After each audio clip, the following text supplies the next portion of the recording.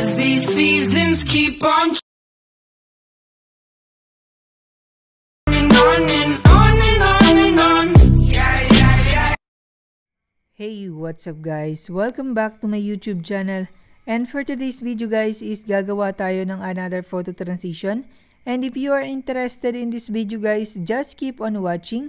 And if you are new to my channel, make sure that you hit that subscribe button and click that notification bell for you to notify every time that I upload new CapCut tutorial videos. And without further ado guys, let's begin this video. So ang una lang natin gagawin guys is open natin yung editor which is yung CapCut.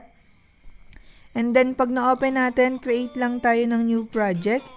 And then next naman is select lang tayo ng one video. And then punta tayo sa photos natin or sa image. And then select lang tayo ng 8 image. So, select lang natin yung 8 image. And then, pag may kulang, saka na lang natin ulit i-add. Or mag-add ulit tayo ng bago. And then, next natin is i-add lang natin yung selected image and videos natin. And then, punta tayo sa format. Baguhin natin yung format to 9 by 16. And then, back tayo. Next naman natin na gagawin guys is i-edit natin yung video natin. So, 4.5 seconds lang yung video. So, ikakat lang natin or split lang natin siya. And then, delete natin yung sobra. And then, select natin yung ating video and then i-edit natin duration to 4.5 second. And then, yung image naman guys, first image natin, ang duration niya is 0.7 second. So, i-adjust lang muna natin. And then, second image is 0.8 second. And then, third image is 0.7 second ulit. And then, next image is 0.8. And then, sunod ulit is 0.8 seconds ulit. And then, isa pang 0.8 second. And then, yung next image natin is 0.7 second.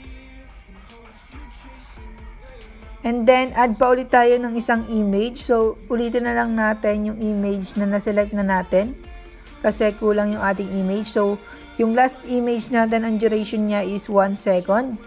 And then, pagka-adjust natin guys, punta tayo sa unahan. Then, select natin yung audio. So, mag-add naman tayo ng audio. And then, extracted.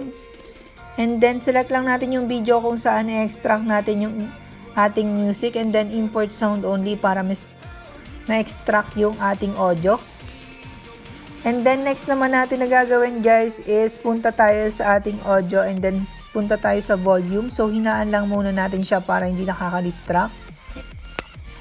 And then sunod na gagawin natin guys is maglagay muna tayo ng animation sa ating image. So select lang natin yung first image then animation and then combo. And then hanapin natin dito yung zoom 1 animation. So, lahat ng image guys is lalagyan muna natin ng animation. So, select natin yung zoom 1 and then uh, check natin para ma-add. And then, lipat tayo sa second image and then animation ulit, then combo and then zoom 1, ay zoom 2. So, zoom 2 na yung sunod na ating animation. And then, lipat tayo sa third image and then zoom 1 naman. So, paulit-ulit lang guys yung animation natin. And then, lipat tayo sa fourth image. Then, zoom to ulit.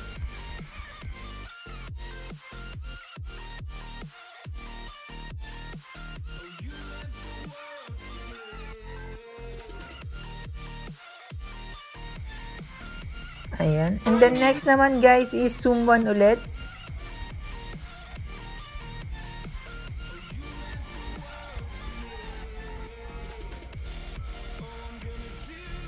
And then, yung second to the last image is zoom 1 ulit.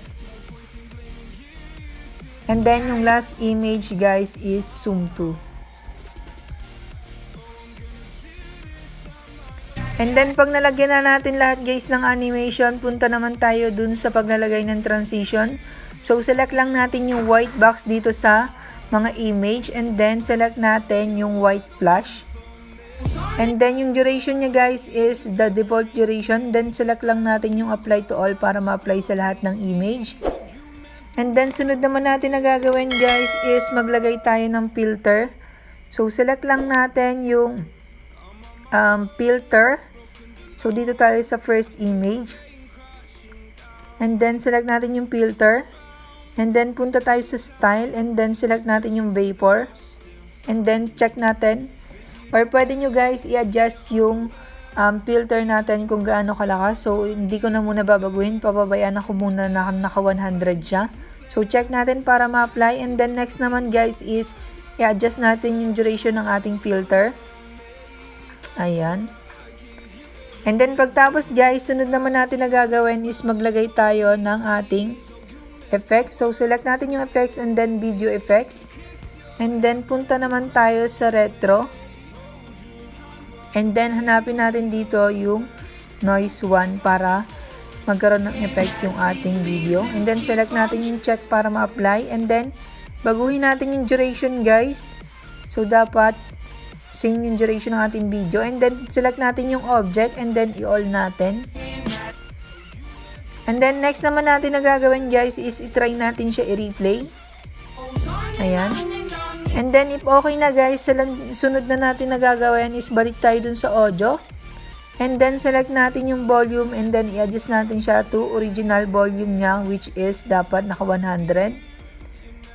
And then, pagtapos guys ma-adjust, sunod natin na gagawin is select natin yung render setting. So, select lang natin yung setting dito sa taas and then select 720p. And then, yung frame rate niya is to 60. And then, export na natin as video. And then, pagtapos guys, ma-export, pwede nyo siyang i-post sa inyong social media account like TikTok or Facebook. And if content creator ka naman sa CapCut, pwede mong i-post as template para may makagamit na ibang mga user or merong makagamit na ibang user ng iyong template na nagawa. And that's all for today's tutorial guys. Thank you!